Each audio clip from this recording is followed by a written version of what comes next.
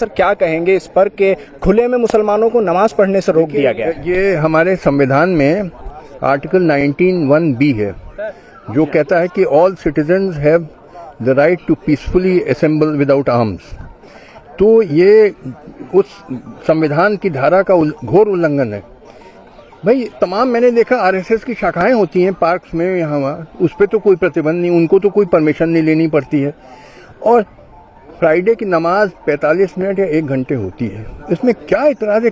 कोई नमाज़ अगर पढ़ ले तो किसी का सर काट लिया किसी का पैर काट लिया कर रहे करने दो जिसको आज़ादी होनी चाहिए। तो ये तो बिल्कुल गलत आदेश हुआ है और मैं इसका घोर विरोध करता हूँ। अगर हफ़्ते में एक बार ही नमाज़ होती एक ही बार होती है वो भी 45 मिनट या एक घंटे की होती है। ज़्यादा से ज़्यादा। क्या इसमें बुराई है कि इतना बात का बतंगड़ बना रहे हैं? आरएसएस की शाखाएँ तो होती हैं रेगुलरली होती हैं पार्क में होती हैं पब्लिक स्पेस उसमें तो कोई प्रतिबंध नहीं है उसमें तो कोई परमिशन नहीं लेनी पड़ती है।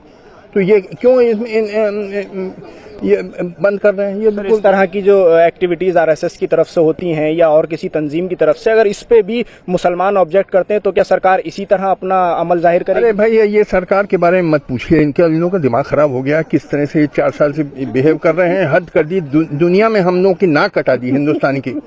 मैं अमेरिका में अभी छः महीने रह के आया हूँ अभी जून से दिसंबर तक था। लोग हँसते हैं हिंदुस्तान पे कि ये किस तरह के पागल लोग हैं कि किसी को पकड़ के मार डाला कि ये गाय काट रहा था। किसी को कुछ इस तरह से ब्लिंचिंग कर रहे हैं पागलपन किया जा रहे हैं किए जा रहे हैं। चार साल से पागलपन हुआ है इस मुल्क में। सर गाय को सबसे बड़ा हवा बना के पेश किया गया है मैंने तो देखी साफ़ साफ़ कह दिया मैं साइंटिफिक आदमी हूँ मैं गाय को माता नहीं मानता हूँ। जैसे घोड़ा है या कुत्ता है वैसे गाय है एक जानवर है। और दुनिया खाती है गाय बीफ। अमेरिका खाती है यूरोप खाती है अफ्रीका खाते हैं चाइना अम, ऑस्ट्रेलिया इवन ये, ये अफ़गानिस्तान पाकिस्तान थाईलैंड हमारे हिंदुस्तान में भी अभी मैं केरल होके आया हूँ। तो मैंने वहाँ बीफ खाया। क्या कोई बुरी चीज़ नहीं है? दुनिया खाती है। आप वो सब बुरे लोग हैं। आप ही साधु संत हैं। हद कर दी पागलपन की। वो कहते हैं कि साहब गाय माता है क्योंकि वो दूध देती है पीने को। तो भाई बकरी भी देती है दूध पीने को। भैंस भी देती है। वो ऊँट का भी पीते हैं लोग दूध। तिब्बत में याक का पीते हैं। वो सब देवी देवता हैं। पागलपन की बातें, बेवकूफ़ी की बातें। अब तुम गधे हो तो बने रहो गधा। मैं गधे का इलाज नहीं मेरे पास। गाय को माता मानना और पूजा करना निहायत बेवकूफ़ी की बात है। गाय एक जानवर है, जैसे घोड़ा और कुत्ता होता है, वैसे उससे ज़्यादा मैं नहीं मानता हूँ। इसी तरह की इजहार राय खुलकर करने के बाद नसीरुद्दीन शाह को पाकिस्तान भेजने की बात मुझे भेजो। अच्छा उसको तो तुमने कर दिया। अच्छा तो मुझे भेज के दिखाओ अगर हिम्मत हो तो। बेवकूफ़ी की बातें। नहीं कोई इस बयान के बाद- अकल अकल की इस्तेमाल करो कि अकल बिल्कुल खो गई तुम्हारी।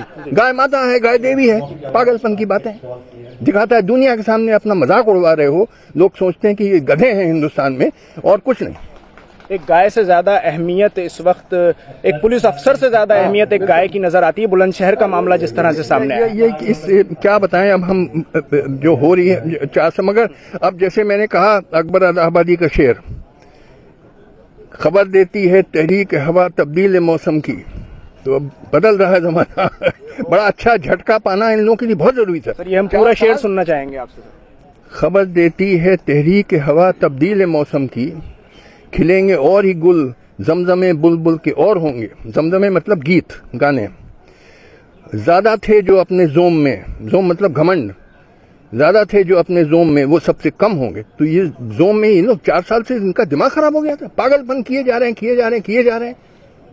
हद कर दी और दुनिया में बदनाम कर दिया हम लोगों को कि ये गधे भरे हुए हैं हिंदुस्तान में। जिस तरह से हालात दिन ब दिन बिगड़ते जा रहे हैं तो इस चीज़ को किस तरह देखते हैं कि 2019 में आवाम किस तरह से सामने आएगी? क्या आवाम के नतीजे होंगे? देखिए क्या होने जा रहा है इस मुल्क में हम आपको बता दें। जी। इस मुल्क में बड़ा अ, अ, अ, बहुत बुरा जमाना आ रहा है और ये लोकसभा चुनाव से शुरू होने जा रहा है और 10-15 साल चलेगा बहुत बुरा जमाना। बड़ा मारधाड़ होगी इस मुल्क में और मुझे लगता है लोकसभा चुनाव में मेरा अंदाज है, बीजेपी भी 125 सीट पाएगी, कांग्रेस भी 125 सीट। तो 290 सीट ये रीजनल पार्टीज़ पाएँगी। और रीजनल पार्टीज़ यही किंग मेकर्स होंगे, जैसे सैयद ब्रदर लेटर मुगल जो थे, उन 1707 में औरंगज़ेब का इंतकाल हुआ। और सत्रह वो last Mughal strong Mughal emperor थे। उसके बाद मुगल एम्पर जो थे लेटर मुगल्स कहलाते हैं 1707 से अठारह तक। डेढ़ सौ साल लेटर मुगल्स का राज था, जो कि नाम के लिए बादशाह थे, कुछ था नहीं उनके पास। तो इस दौरान बड़ा मारधाड़ हुआ है डेढ़ सौ साल। उसके बाद अंग्रेज़ शासन आया, तब जाके स्टेबिलिटी आई कंट्री में। तो ये मुगल, लेटर मुगल्स का ज़माना अब आने वाला है। रीजनल पावर जो है रीजनल पार्टी ये रियल पावर्स होंगे, और ये लोग भी इनमें कुछ कॉमन तो है नहीं, सब आपस में झगड़े करेंगे। पहला तो होगा कि ल्यूक्रेटिव पोर्टफोलियोज किसको मिले फाइनेंस मिनिस्ट्री किसको मिले? क्योंकि पैसा है उसमें। इन लोगों को देश से तो कोई प्रेम है नहीं। जितने भी नेताएँ हैं ने, ने, ने, नेता हैं हिंदुस्तान के उनको देश से कोई प्रेम नहीं है। बस पैसा बनाना सत्ता पाना यही सब उनमें है। तो लिहाजा बहुत बुरा ज़माना आ रहा है इस हिंदुस्तान में। जो 10 15 20 साल चलेगा बहुत बुरा ज़माना आ रहा है। एक चीज़ और देखी जा रही है कि ख़ास तौर से मुसलमान लड़कों को जो कि नौजवान हैं अपनी कौम का मुस्तबिल हैं उन्हें खसूसी तौर पर टारगेट किया जा रहा है। ये सब वोट के चक्कर में ये सब पूरा ये है कि देखिए समस्या क्या है? बीजेपी के साथ समस्या क्या है? समस्या ये है बीजेपी का वोट बैंक है upper caste Hindu vote. Upper caste में ब्राह्मण राजपूत बनिया ये सब आते सब मिला के करीब 20 परसेंट होते हैं। तो 20 परसेंट पे तो चुनाव निकलता नहीं है। चुनाव जीतने के लिए 30 30 परसेंट से ज़्यादा होने चाहिए। 50 परसेंट नहीं चाहिए क्योंकि ऑल डिवाइडेड होते हैं। मगर 31 32 परसेंट पाएँगे तो आप इलेक्शन जीत सकते हैं। मगर 20 परसेंट पे तो नहीं जीतेंगे। जी। तो कैसे एक तबका और 10-15 परसेंट का आए? वो एक ही तरीका है कम्युनल राइट कराओ। तो होने जा रहा है बड़ा बुरा जमाना आ रहा है। मैंने कहा कि बहुत बुरा जमाना है देश में। आ रहा मुसलमानों के लिए बहुत बुरा होगा ये।